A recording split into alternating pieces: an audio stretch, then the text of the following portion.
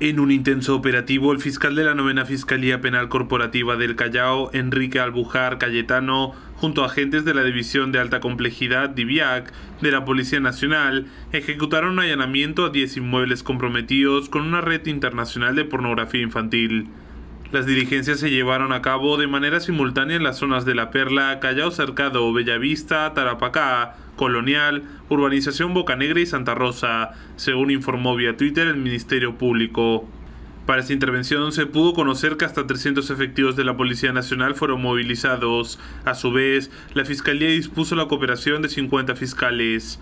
Cabe señalar que desde el 2016 la División de Investigación de Delitos de Alta Tecnología la cantidad de denuncias sobre pornografía infantil a través del grooming que ha recibido esta división hasta junio de 2018 fue de 152.